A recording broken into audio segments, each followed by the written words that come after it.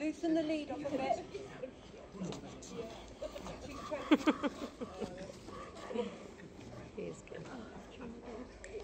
She can breathe.